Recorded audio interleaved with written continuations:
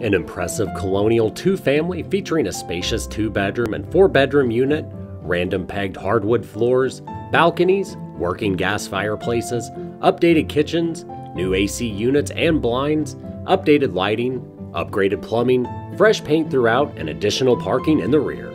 There's a new hot water heater and washer and dryer. This is a great owner occupant opportunity. Make yourself at home by scheduling a tour with the Ron and Anna Bisher Group today.